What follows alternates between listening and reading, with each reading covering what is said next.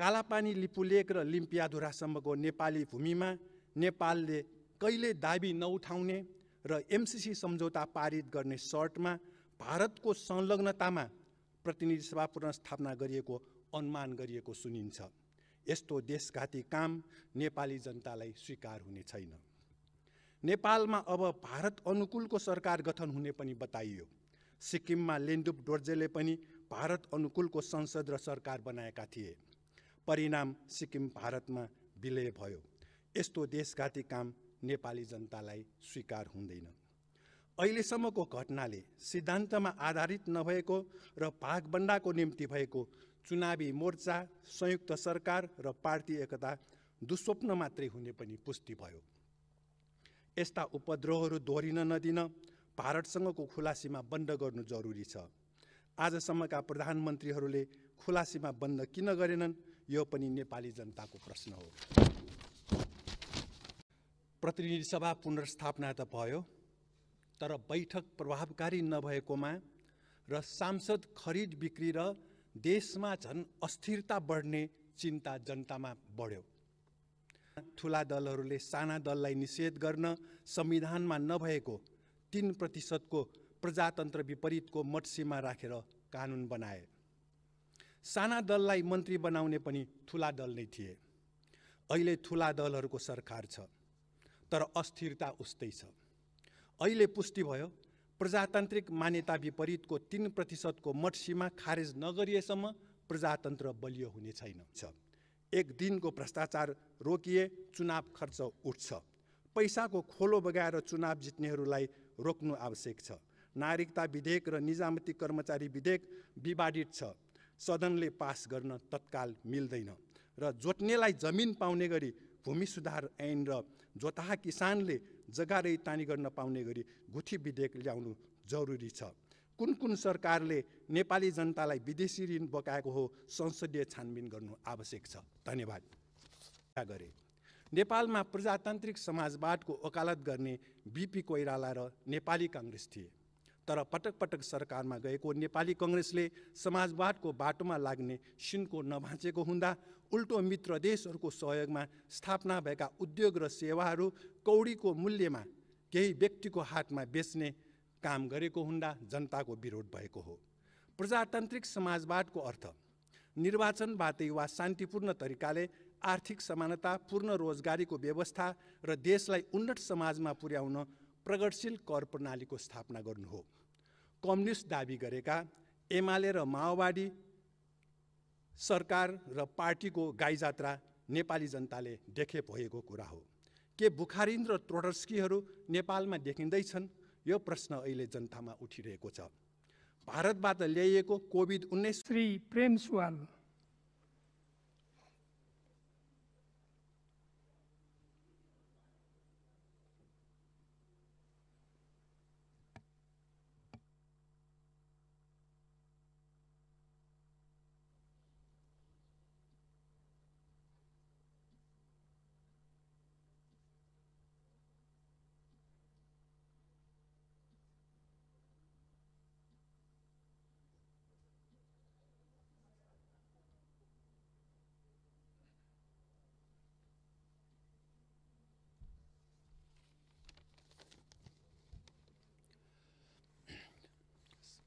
सम्माननीय सभामुख महोदय प्रतिनिधि सभा पुनर्स्थापना त भयो तर बैठक प्रभावकारी नभएकोमा र सांसद खरिद बिक्री र देशमा झन् अस्थिरता बढ्ने चिन्ता जनतामा बढ्यो साना दलका मन्त्री हुँदा सरकार अस्थिर भएको ठुला दलको आरोप थियो यही न्युमा ठुला दलहरूले साना दललाई निषेध गर्न संविधानमा नभएको तिन प्रतिशतको प्रजातन्त्र विपरीतको मटसीमा राखेर कानुन बनाए।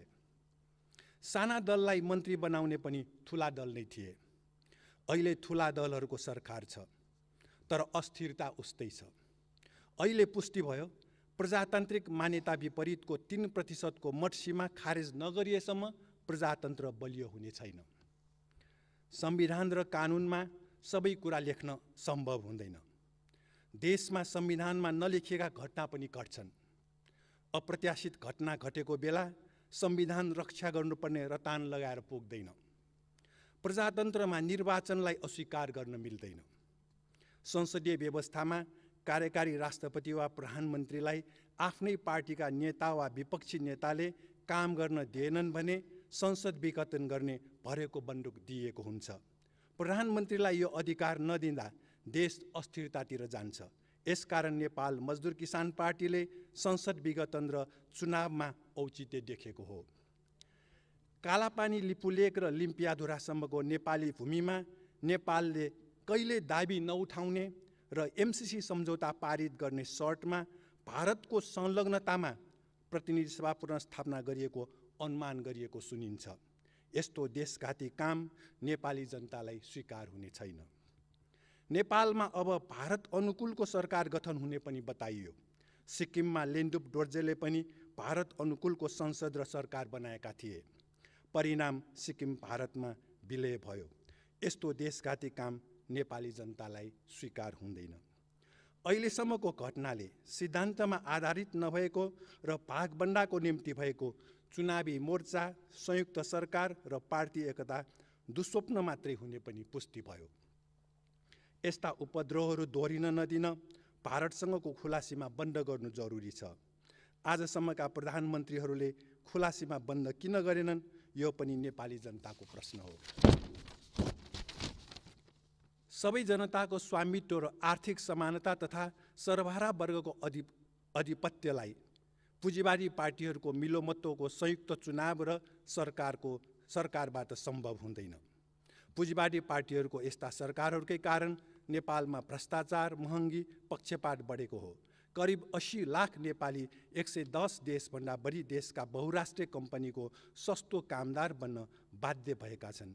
नेपालले सोह्र खर्ब रुपियाँ ऋण बोक्नु परेको हो। जनताका प्रतिनिधिहरूले उठाउनु भएको समस्या समाधान गर्ने थलो प्रतिनिधि सभा हो। काठमाडौँ उपत्यकाका औद्योगिक क्षेत्रहरू उपत्यका बाहिर स्थानान्तरण गर्ने आब त्रिहत्तर चौहत्तरको बजेट वक्तव्यको प्रतिबद्धता कार्यान्वयन गर्ने जिम्मेवारी सरकारको हो तर अहिलेसम्म कार्यान्वयन भएको छैन। ट्रोटर्स्की र बुखारिनले जर्मनी र अन्य साम्राज्यवादीहरूसँग मिलेर आफ्नै देश र सोभियत सङ्घमाथि आक्रमण गराई देश टुक्र्याएर विदेशीको हातमा दिने लेलिन र स्टारिनलाई पक्राउ गराई हत्या गर्ने र क्रान्तिलाई विसर्जन गर्ने षड्यन्त्र गरेका थिए। गोर्बाचोभसम्म पुग्दा सोभियत कम्युनिस्ट पार्टीलाई भङ्ग गरियो समाजवादलाई उल्ट्याइयो र सोभियत सङ्घलाई पन्ध्र टुक्रामा विभाजित गरियो। सोभियत कम्युनिस्ट पार्टी र समाजवादलाई विघटन गराउन नै गोर्बाचोभ कम्युनिस्ट बनेको पुष्टि भयो। ख्रुसेव र अन्य विश्वासघाती एवं सिद्धान्तचित नेताहरूले किरोप जस्ता नयाँ पुस्ताका कम्युनिस्ट क्रान्तिकारीहरूको हत्या गरे र स्टालिनलाई समेत विषालु सुई मार्फत हत्या गरे। नेपालमा प्रजातान्त्रिक समाजवादको वकालत गर्ने बिपी कोइराला र नेपाली काङ्ग्रेस थिए। तर पटक पटक सरकारमा गएको नेपाली कङ्ग्रेसले समाजवादको बाटोमा लाग्ने सिनको नभाँचेको हुँदा उल्टो मित्र देशहरूको सहयोगमा स्थापना भएका उद्योग र सेवाहरू कौडीको मूल्यमा केही व्यक्तिको हातमा बेच्ने काम गरेको हुँदा जनताको विरोध भएको हो।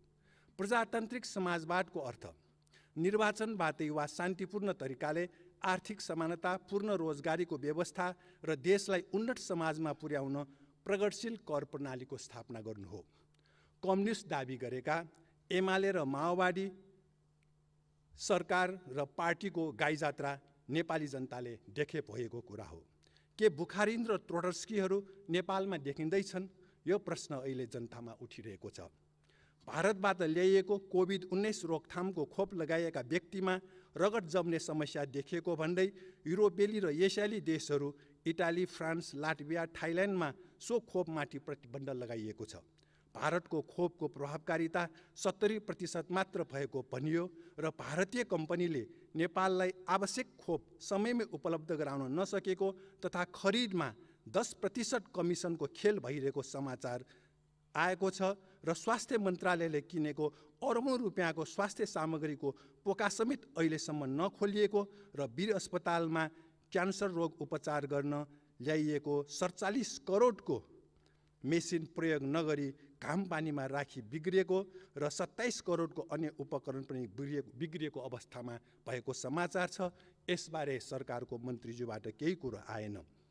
चिन सरकारले नेपाललाई अनुदानमा उपलब्ध गराउने आठ लाख खोप बेजिङ एयरपोर्टमै अल्पत्र रहेको समाचार छ। नेपाल सरकारले भारतको दबावमा चिनबाट खोप नल्याएको जनगुनासो पनि छ। यसबारे सरकारले जनतालाई सत्य तथ्य जानकारी दिनु आवश्यक छ। सभामुख महोदय पुँजीवादी गणतन्त्रले नेपाली जनताको हित गर्दैनन्। समाजको समाजवादी गणतन्त्र नै जरुरी छ। एक दिनको भ्रष्टाचार रोकिए चुनाव खर्च उठ्छ। पैसाको खोलो बगाएर चुनाव जित्नेहरूलाई रोक्नु आवश्यक छ। नागरिकता विधेयक र निजामती कर्मचारी विधेयक विवादित छ। सदनले पास गर्न तत्काल मिल्दैन र जोत्नेलाई जमिन पाउने गरी भूमि सुधार ऐन र जोताहा किसानले जग्गा रैतानी गर्न पाउने गरी गुठी विधेयक ल्याउनु जरुरी छ। कुन कुन सरकारले नेपाली जनतालाई विदेशी ऋण बकाएको हो संसदीय छानबिन गर्नु आवश्यक छ। धन्यवाद।